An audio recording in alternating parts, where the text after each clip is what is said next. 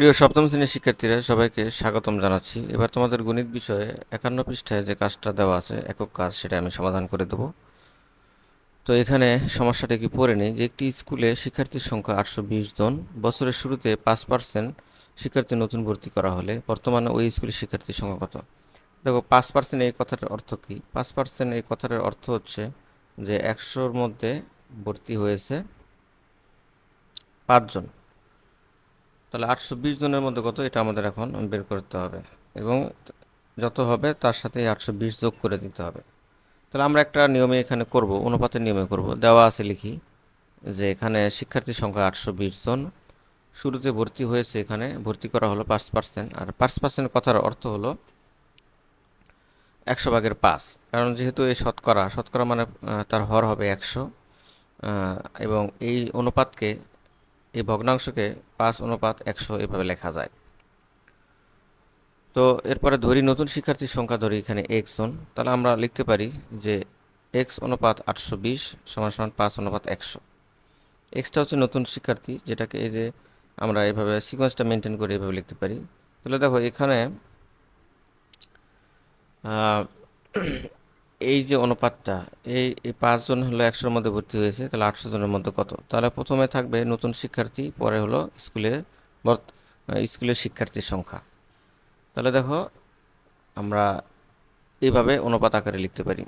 পরের লাইনে যেটা হবে, যেহেতু অনুপাত একটা ভগ্নাংশ এক্স বাই আটশো বিশ, এনে পাঁচ বাই একশো লিখতে পারি। এবার আর আর কোনাকুনি গুণ করে দেবো, যেটার সাথে এটা গুণ করে দেবো, এবং আটশোর সাথে পাঁচ গুণ করে দেবো।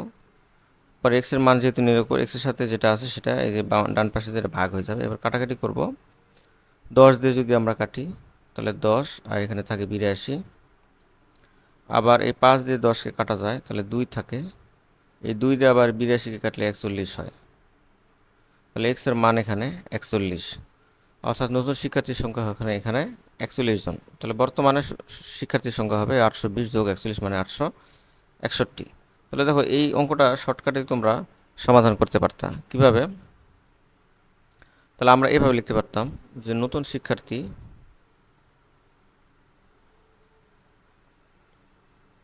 সংখ্যা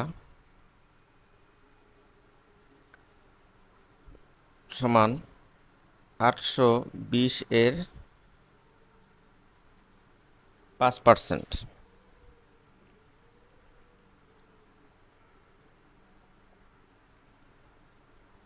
তাহলে আটশো বিশ।